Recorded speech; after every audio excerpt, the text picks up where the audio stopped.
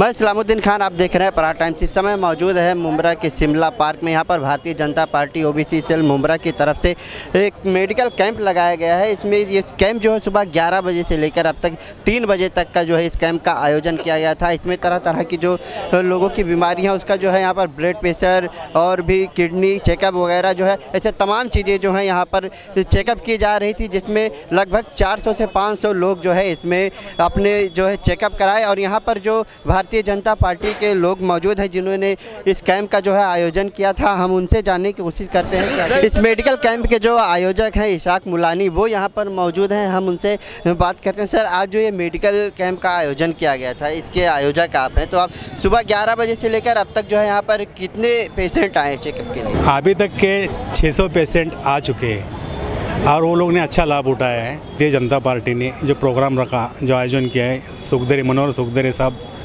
और अपने क्या बोलते हैं कुणाल पाटिल।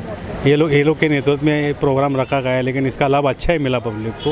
और कम से कम 600 पब्लिक के ऊपर पब्लिक आ चुकी है अभी। सर 600 पब्लिक यहाँ पर जो है आ जाए मेडिकल कैंप के ज़रिए। तो क्या आप लोगों की तरफ़ से ऐसे ही और भी बड़े कैंप का आयोजन मुमरा शहर में किया जाएगा? ये भारतीय जनता पार्टी मुमरा मंडल की तरफ़ से हम लोग ने कार्यक्रम यहाँ पे रखा था। कलवा में भी हम लोग ने गए, बीस तारीख को ये कार्यक्रम रखा है। कलवा में भी साढ़े चार सौ, पाँच सौ लोगों को यहाँ पे उसका लाभ मिला है। इसमें हम लोग महात्मा फुले योजना के अंतर्गत, जिसके पास में केसरी राशन कार्ड है, जिसके पास पीला राशन कार्ड है उनका बड़े बड़े ऑपरेशन मदाना बाईपास सर्जरी होने दो किडनी का ऑपरेशन होने दो कैंसर का ऑपरेशन होने दो मोतिया बिंदु का ऑपरेशन होने दो ऐसे चौदह से पंद्रह बड़े बड़े लोगों का फ्री में ऑपरेशन हम लोग ने करने के लिए ये कैंप यहाँ पे रखा हुआ ये है। कैंप आज लगाया गया है यहाँ पर तो इस कैंप के ज़रिए जो है कुछ लोगों से शुल्क लिया जा रहा है या बिल्कुल मुफ़्त नहीं ये पूरा मुफ़्त में कार्यक्रम रखा हुआ है जहाँ पे जितने भी टेस्टिंग्स है सब फ्री में रखे हुए हैं। हम लोग ने खाली सहूलत के दर में यहाँ पे जो बारह कुछ ऐसे कैंप लगते हैं कि जहाँ बातें तो होती है कि ये चीज़ फ्री दिया जा रहा है, लेकिन कहीं ना कहीं जो है उनसे शुल्क लिया जाता है। नहीं, हम लोग ने यहाँ पे पूरा चेकअप पूरा फ्री में रखा हुआ है। पूरा चेकअप जो है फ्री में इसमें हम लोग ने ऑपरेशंस मुफ़्त में रखे हुए, जो सरकारी योजना है। मैं तो चाहता हूँ कि यहाँ के जो आमदार है, उन्होंने जो शासकीय और केंद्र शासन की योजनाओं का यहाँ पे लोगों को लाभ देना चाहिए। ना तो यहाँ के नगर सेवक लाभ दे रहे हैं, ना यहाँ के आमदार लाभ दे रहे हैं लोगों के लिए। कितनी योजनाओं का यहाँ पे कार्यक्रम किया हुआ है मुमरा में? आज आपके कैंप में जो पेशेंट आए हुए हैं तो क्या जो आप योजना के तहत उनका यहाँ पर जाँच कर रहे हैं? अगर कुछ पैसे पेशेंट को जो है और भी इलाज की ज़रूरत है तो क्या आप उनका इलाज हॉस्पिटल में करवाएँगे। जैसे मैंने बोला कि सी सुयश हॉस्पिटल और प्लेटिनम हॉस्पिटल जो एक सीउड में है नई मुंबई में और एक मुलुंड में है।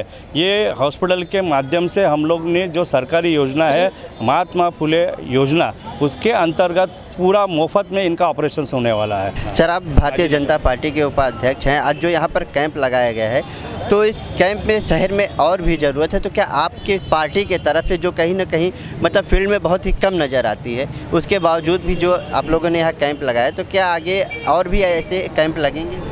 अच्छा सवाल पूछा आपने, क्या फ़ील्ड में कम नज़र आती है? बात ऐसी है, यहाँ का आमदार, यहाँ के नगर सेवक, जो भी है, राष्ट्रवादी, कांग्रेस कांग्रेस, शिवसेना ऐसे है। भारतीय जनता पार्टी के माध्यम से यह जो हमारे कैंप है, या तो होने नहीं देते, अगर लगे तो कुछ दिख नहीं देते। आज हम लोगों ने जो कैंप लगाया, इनमें इतनी दिक्कत डाली गई कि मेरे जो कार्यकर्ता है, कम से कम पाँच छः दिन से खाली आरटीओ का परमिशन के लिए चक्कर काट रहे, कभी पुलिस की परमिशन के लिए चक्कर काट रहे। अभी मैं आपके लिए यही बता बता देना चाहता हूँ आपके माध्यम से ये जो हम लोगों ने कैंप लगाया ना तो हमारे जेब से कुछ जा रहा है ना आपकी जेब से कुछ जा रहा है। ये यहाँ जो कैंप है मोदी जी ने जो योजनाएँ लाई है महात्मा फुले योजना है उनके बाद में फिर सीएम की योजना है। कि जो- बता रहे कि जो है रोका जा रहा है कैंप लगाने से तो कौन लोग हैं जो रोक ये नहीं बोल सकता ना। ये जो ऐसे अदृष्ट हाथ है क्यों दिखते ना ना दिखते आपको ना हमको। अभी ऐसा है क्या भाई यहाँ जो कैंप अगर हमारा लगता है तो कैंप के माध्यम से हमारे पार्टी का यहाँ पे थोड़ा सा बोलबाला हो जाएगा या पार्टी के माध्यम से हमारे लोग यहाँ चर्चित हो जाएँगे। ये जो रोकने वाले आप जानते होंगे कौन कौन है? बात ऐसी है कि ये जो अपन कैंप लगा रहे हम लोगों के फ़ायदे के लिए नहीं लगा रहे। आज पीएम के माध्यम से जो भी योजना है, सीएम के माध्यम से भी जो योजना है, भारतीय जनता पार्टी के माध्यम से जो मतलब पीएम तो हमारा है सीएम भी हमारा है। तो यहाँ यहाँ पे जो योजना है वो योजना लोगों तक पहुँचनी मांगती है। सर आज जो ये कैंप का आयोजन किया गया था तो कहीं ना कहीं जो है इस कैंप पे तो लोग आए अच्छे खासे तादाद में आए लेकिन इसके बावजूद भी शहर में जो है ऐसी फैसिलिटी की बहुत ज़रूरत है तो क्या आगे आपके तरफ़ से इस तरह के कैंपों का आयोजन और बड़े पैमाने पर किया जाएगा? हाँ इन ऐसे कैंप बड़े पैमाने पर हम लोग लगाने का हमारा इरादा है। यहाँ पे 100 बेड का हॉस्पिटल रुका हुआ है, यहाँ के एमएलए उधर ख्याल नहीं देते हैं। और यहाँ के जो प्राइवेट हॉस्पिटल है, उसकी फ़ीस जो हमारे गरीब लोग दे सकते नहीं। और ऐसे बहुत लोग जब मरीज़ हैं कि जिनको ये चीज़ों की ज़रूरत है तो इसलिए हमको अगर थोड़ा पहले दो चार दिन पहले परमिशन मिलती तो इन यहाँ पे और भी ज़्यादा तादाद में मरीज़ लोग आ सकते थे। ये कल शाम को परमिशन मिली है और उसके बाद फिर ये 600 तक भी लोग यहाँ पे आए हैं। हमारे सभी कार्यकर्तागण जो है मंडल के, वो आसपास के लोगों को मिलकर हज़ारों के तादाद में पम्पलेट बंटवाए और यहाँ पे 600 लोगों तक उनकी जाँच हुई है। और यहाँ पे कितने भी बड़े बड़े बीमारी के लोग मिले भी तो उनको हम गवर्नमेंट के हॉस्पिटल में जो गवर्नमेंट की सुविधा है वो दे देंगे, प्राइवेट हॉस्पिटल में जो गवर्नमेंट की सुविधा है वो दे देंगे। पैसों की ज़रूरत पड़ी तो मेडिकल सोशल ऑफिसर रहते गवर्नमेंट हॉस्पिटल में उनसे रबिता रख के उनको हम मदद करेंगे। और अगर ज़्यादा पैसे की ज़रूरत है तो सीएम फंड जो रहता है, मुख्यमंत्री सहायता निधि, उनको कांटेक्ट करके भी वहाँ से हम लोग इनको मदद कर सकते हैं। सवाल इतना ही है कि इन लोगों ने हमारे से रबिता रखना चाहिए।